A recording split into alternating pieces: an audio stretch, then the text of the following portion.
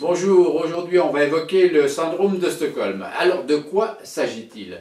Bien le 23 août 1973, dans une banque de Stockholm précisément, un malfaiteur qui s'appelait Olson a pris en otage quatre personnes pendant six jours.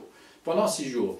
D'ailleurs, pendant ces six jours, il a fait un certain nombre de revendications. Il a demandé en particulier à ce que l'un de ses co-détenus, qui s'appelait Olofsson, vienne avec lui dans la banque. C'est bien qu'ils ont été, lui, Olson et Olofsson, pendant six jours avec quatre otages enfermés. Et, mais pendant ces six jours, il s'est passé une relation affective et amicale telle que lorsqu'ils sont sortis, les policiers ont été éverlués en quelque sorte, parce qu'ils les ont vus se prendre dans les bras les uns des autres au moment de la séparation. Les otages n'ont pas voulu que les malfaiteurs sortent en dernier parce qu'ils craignaient qu'ils se fassent tuer, ils ont voulu qu'ils sortent en premier, d'une certaine façon pour les protéger. Et ces otages sont même allés jusqu'à se cotiser pour payer la, prise en charge, les frais de défense de ces malfaiteurs.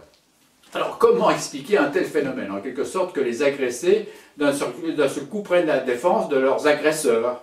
Eh bien, on peut l'expliquer par un phénomène d'attachement à minima. Le phénomène d'attachement, c'est quoi? C'est quelque chose qui se crée dans les familles, entre parents-enfants, dans la relation affective, dans les relations amoureuses. C'est un certain nombre d'interactions, d'échanges, de petits éléments comme ça de vie du quotidien qui sont partagés minute après minute, heure après heure, et qui créent des liens affectifs très forts. Si bien que les personnes se sentent en sécurité avec la personne avec laquelle ils nouent des liens d'attachement.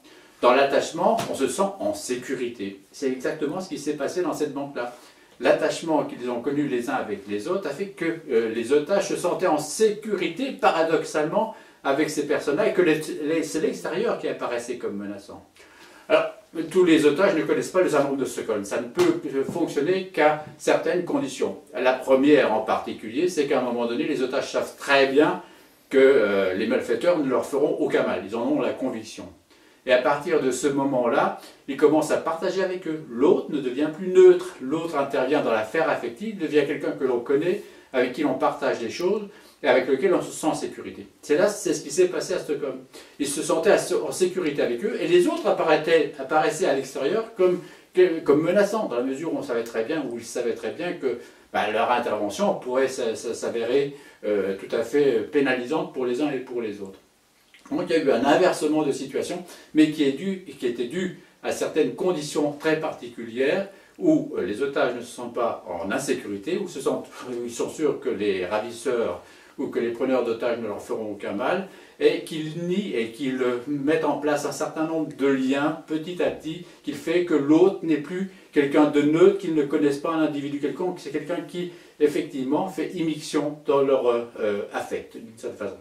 Voilà pour ce qui est le syndrome de, Stockholm. On se retrouve une autre fois pour d'autres chroniques. Au revoir.